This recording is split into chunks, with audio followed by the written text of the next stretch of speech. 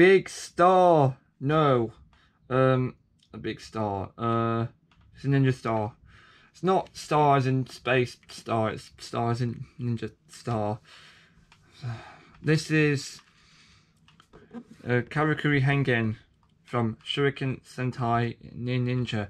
This is the uh, last Ninja item video singing the Bob. So after this, we're going to be moving into Kyoryuger territory, which is technically taking a backward step, but it's also still technically also. Well, it's going in order of um, what um, I ordered, basically. So going in order of what I ordered. Bit strange, but alright. Karakuri Hengen box. It's quite a big box. As you can see, I've got a picture of Aka Ninja, like on most boxes. We also have a photo of the actual item itself. This is it in sword mode, as you can tell by the blade. Sounds. On the top of the box, you can tell that there's a photo of the Ninja Shuriken, as that is, of course, included Shuriken plus all five ninjas. On the bottom of the box, we, of course, have a photo of, again, all five nin, nin ninjas, as you can see. On this side of the box we have Aka Ninja again with the Karakuri Hengen on the bottom. And on the other side we have another photo of Aka Ninja plus the Karakuri Hengen again. And on the back of the box we have product shots. Right, so for a start we have a photo of the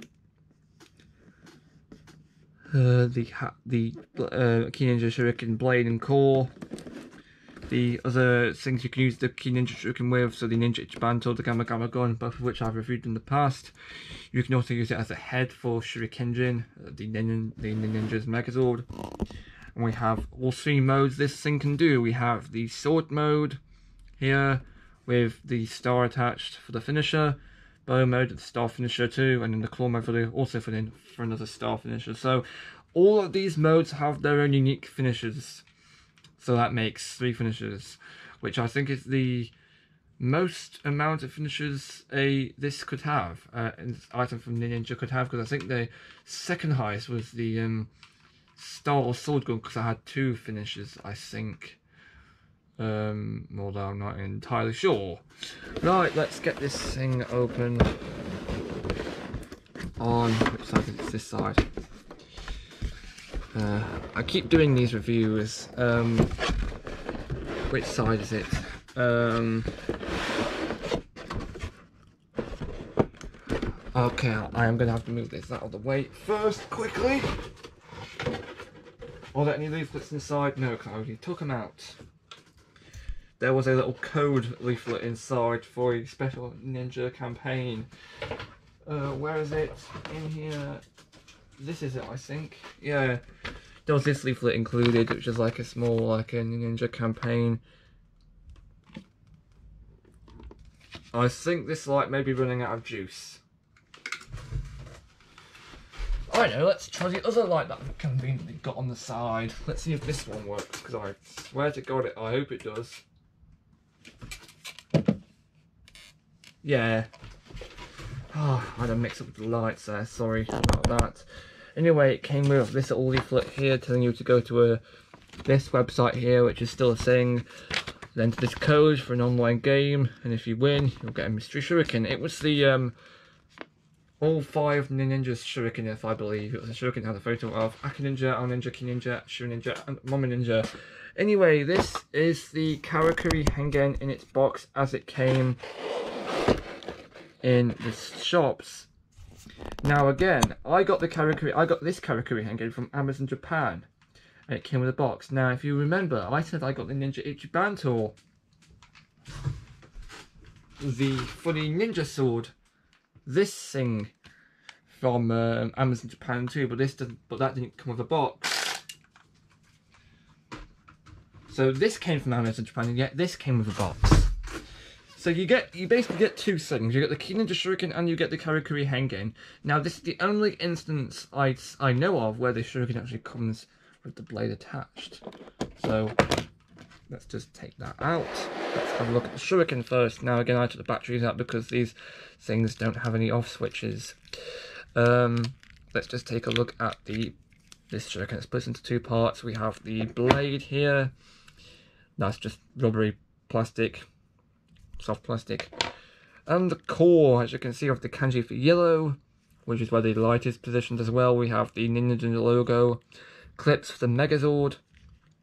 We have a button on the back with sad Pac-Man as well. If you can push the button down.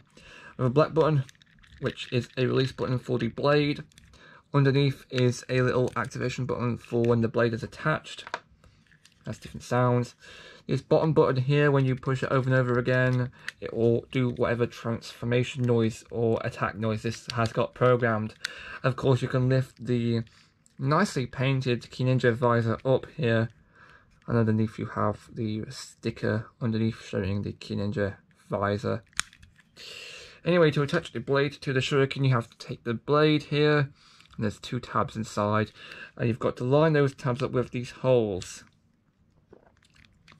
like this, and push it in, and when it's in, you turn it, and this is what forms the shuriken. As you can see, you, you of course use this as a head for shurikenjin, if you want, if you like. And the other item we have is the actual Karakuri Hengen itself. So let's move its package gumph out of the way and we can show you this. Now, this is the Karakuri Hengen. It's quite a big item um, if you're used to Power Rangers merchandise at least. Let's set it up there. Well, I, I suppose it's the right way. Um, just going to look at how the American version, because I've got the American version right here Hello. Now, hello. I'm going to do a comparison later. Um, from that quick glance you've got, you could probably tell how big this version is compared to just size difference. If you're used to American merchandise, this item, the Karakuri Hengen, will be a bit of a, uh, a shock for you because I've got quite big hands. This thing, I can hold this just fine, as you can see. But of course, the uh, Japanese, the American version, uh, your knuckles gets get get a bit stuck here. So the American, so the Japanese version fits fine. Not the American version. What am I talking about? Uh, right. So let's just position this just here. Excuse me. Right. We this thing has got three modes. This is currently in a, like a star position. This doesn't count as one of the modes. We will get to the individual modes this thing has. Before that, I will say there's some nice metallic stickers on it. I'm just going to position that so you can see them like shine just a bit better. Nice metallic stickers going on there. The the um, the decoration is not done too badly. The the back speaker uh, the actual battery compartment is actually in the handle right here. Release buttons, we'll get to them in a minute. This is release button on the top for the for the stove. We'll get to that later, yeah. On our switch, there's a activation button here and there's an activation button here. So it's for if you're left or right handed, as you can see. This way it'll still work. This way it'll still work because where your thumb is positioned. Anywho, the actual inside barrel thing, you can see here we have some release uh, triggers, buttons. We'll get to how this works later. Okay, so to get to solid, I'm just, just going to do this without any sounds on first. But you will get to the sounds later because I don't want the sounds to be talking over my explanations of all this stuff. The first thing we need to uh, acknowledge is that the handle on the back here can actually be moved around if you push these two triggers in here.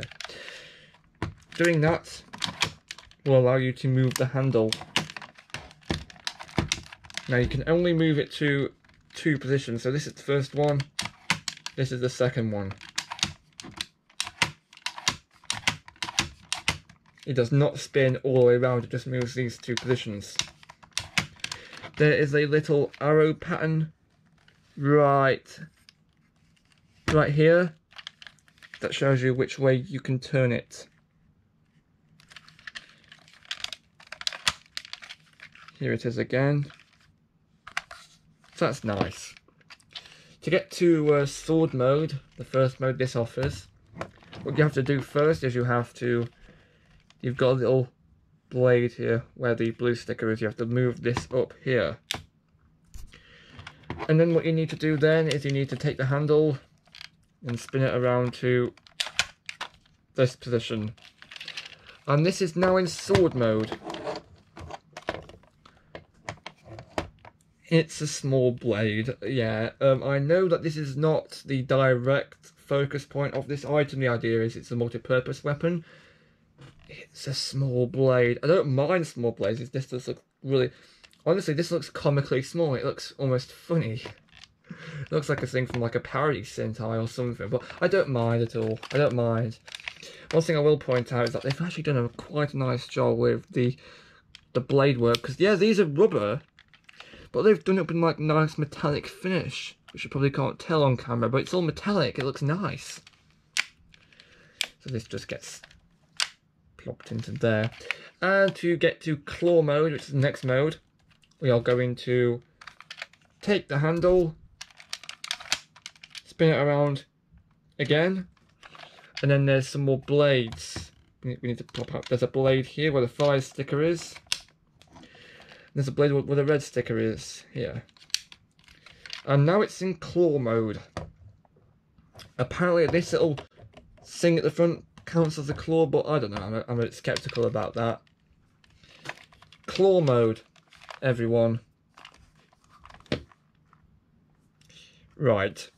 And the last mode this does, which is bow mode, all you need to do is that if, if, if you've got these blades out in claw mode, you just need to move these up about here and this is now in bow mode. Bow mode. Yes, I know I'm holding it wrong, but I can't really fit it in camera when I'm when I'm doing this, can I? This is in this is now in bow mode. Very nice um bow mode. And the actual arrow that you shoot out, this yellow part here with the yellow sticker comes out and back in again. So this is the arrow missile that you shoot out. So they've managed to simulate this. Of course, in the show and all on the uh, promotional photographs for featuring the live action footage of the Ninja, like if you see a photo of Aka Ninja, using it. Of course, this will put out a lot further, but since that this is the bit that you, that you put, it's literally like hollow, because it has to fit around this little stalk plastic here there's no way they could make it pull that out that far in real life. So um, that's just a prop. But whatever, it's just they, did the best they could. Right, so now we are going to turn the sounds on. Actually, no, before we do that, we're just going to show off really quickly how the star works. Star just gets plopped into the center. And that is what causes the finishing attacks to work. And of course, to release it, just push on this yellow trigger and pull it out. Of course, I'm explaining all this now, just so the sounds don't talk over in the future. But now we're going to actually turn this on and get to the sounds. Sounds. The on-off switch is right here. Standard activation noise. Now this is currently in sword mode, but when you move the handle, when you spin the handle and you push the triggers and move the handle, you do get this noise.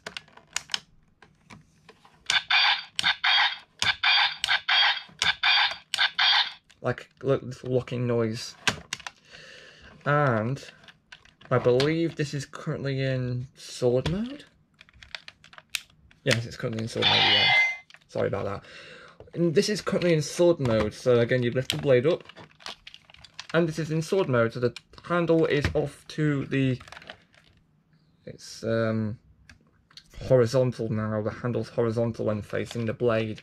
Pushing either trigger will get you a slashing noise.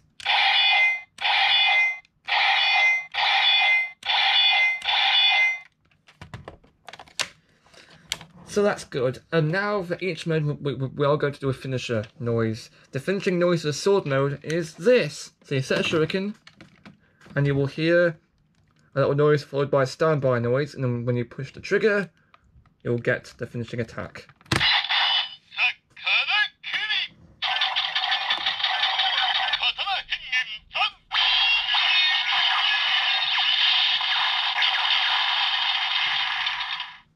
Zan.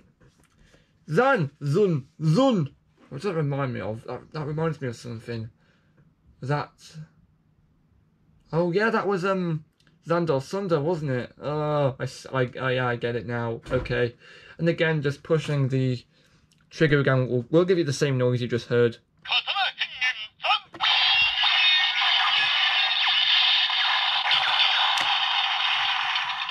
And of course, re releasing the shuriken will give you your standard release noise. Like that. And now we're going to go to claw mode. And to get to claw mode, we just need to spin the handle again. So now it's in vertical position. And then we need to lift up these little claws right here. And now it's in claw mode. And to, yeah, the, again, you'll get some no more noises. So you'll get like a slashing noise again. So I think you get two slashing noises actually. There we go. And now when you do a shuriken finisher, you'll get you'll you'll hear this.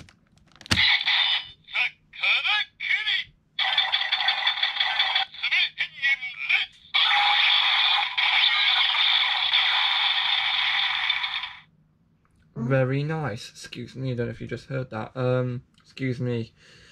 Uh, very, very nice. Again, we're just going to have to remove the star from the holder. Like that. And now we're going to go to bow mode. Now, the thing about bow mode is that because this handle only goes into two locations, it goes like this and like that. When it's in claw mode,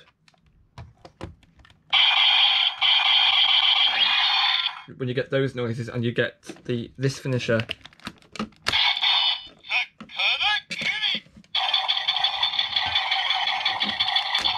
Karakuri, no, that, that was a bad example because it always says that. Uh, anyway, when it's in claw mode, all you need to do, right, is you need to move up these little arrows here. And you've got bow mode.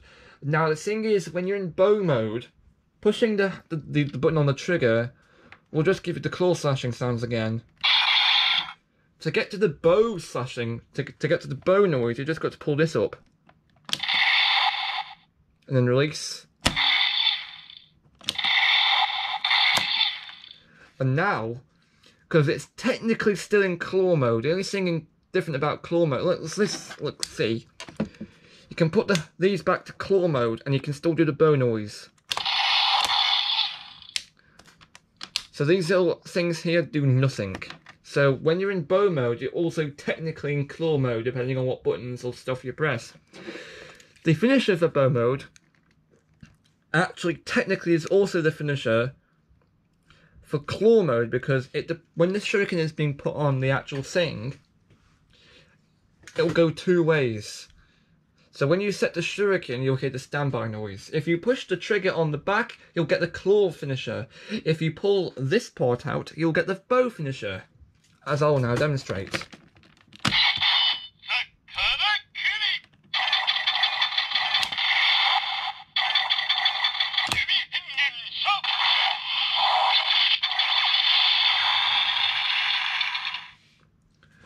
So basically, if you set a shuriken when the handle is in claw position, you can get the claw finisher and the bow finisher. So these blades really do not do anything.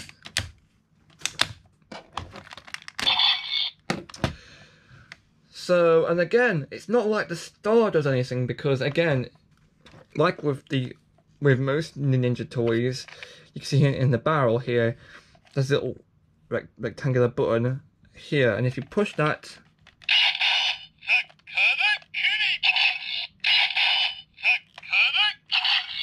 it will act as if you've just put a star in. And of course I'm just going to say that you can of course do it like this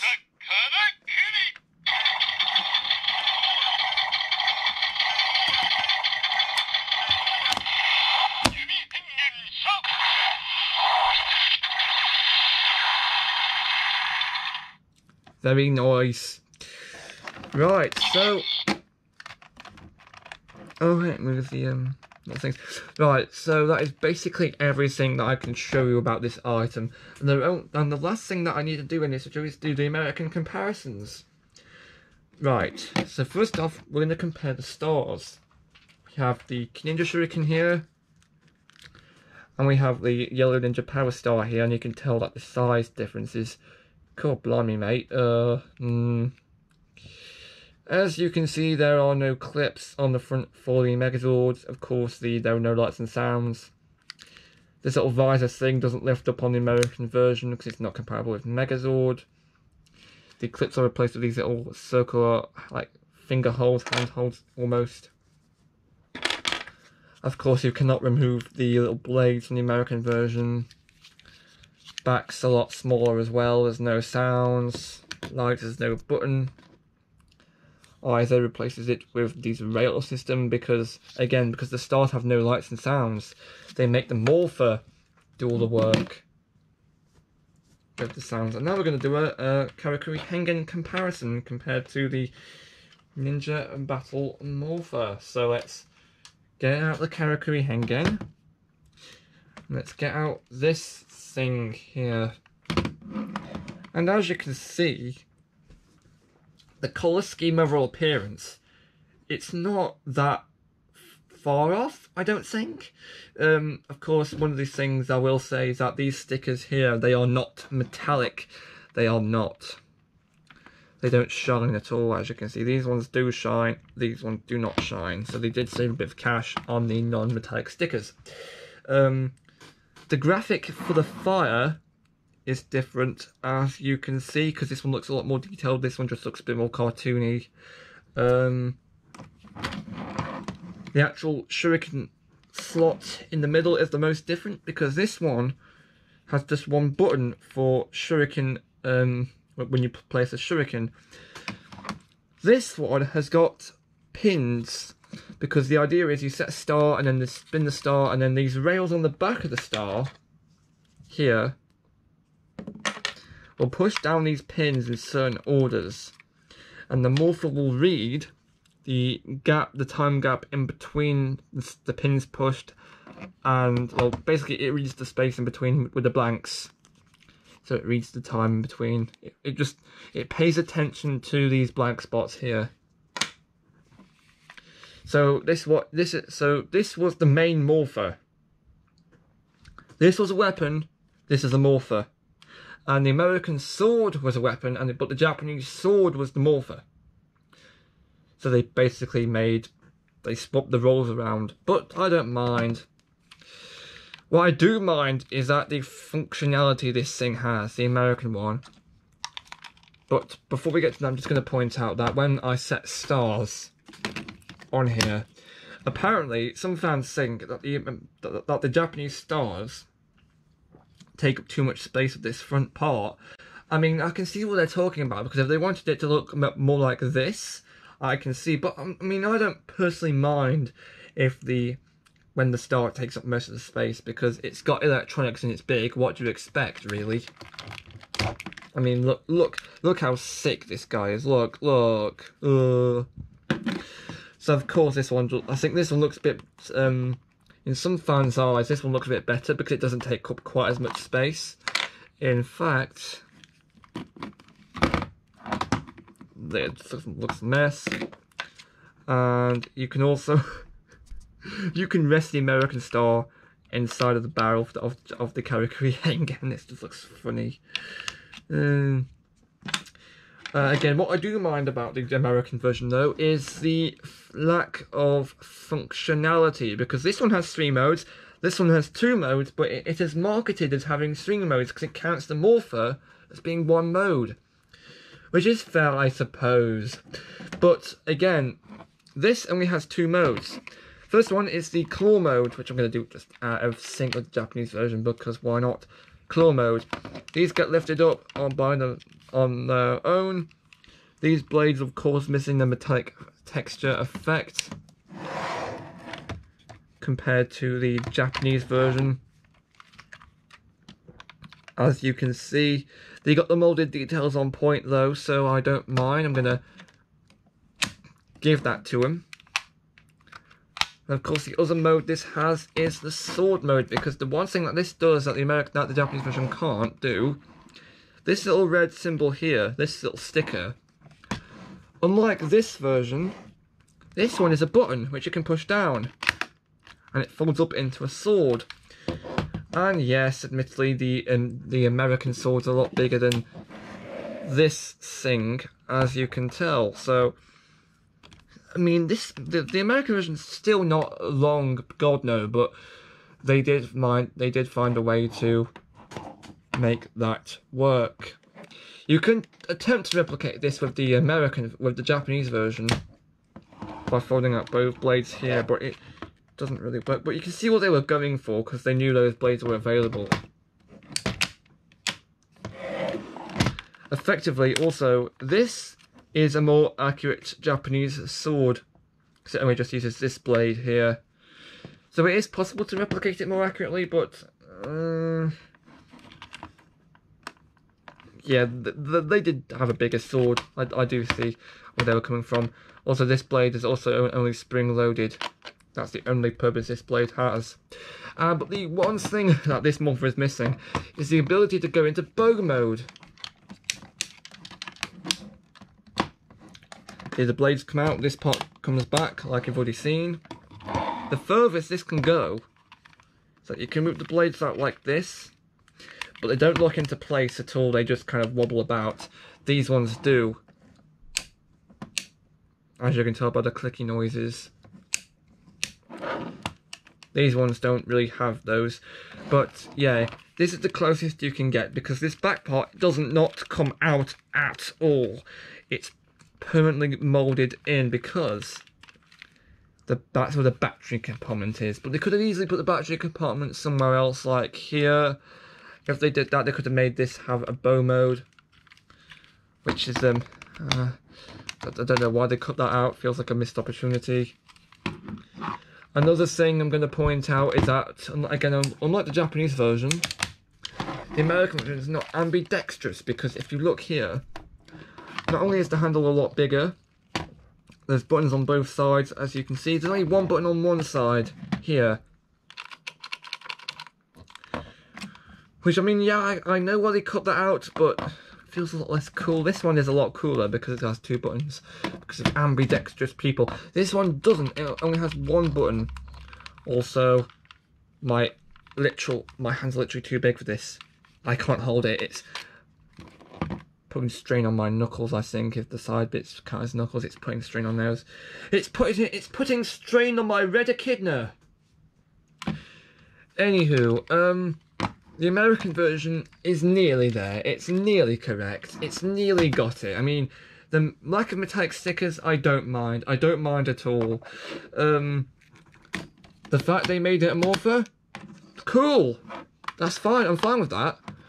But it's the fact they they got so close with the whole bow mode and they got it so close. I mean, would it have killed them to just make this part just move out a bit? I mean, they didn't have to program it. They wouldn't have to program any sounds for it. They just had to move this part out. It's like they put the battery compartment over there just to make an excuse as to not actually incorporate that into the toy. I mean, that seems awfully convenient for them, don't you think? So it feels a bit of a missed opportunity not to have it go into bow mode because that way they could have marketed it as having like four modes if you counted them off as like if you counted them off as having a separate mode. So they didn't do it and I'm kind of disappointed. But hey, what you gonna do? Nothing. Anyway, um, we're done with Ninninger in this series for now, unless I come back with a future video with another Ninja thing. And the next video is going to be Gabu!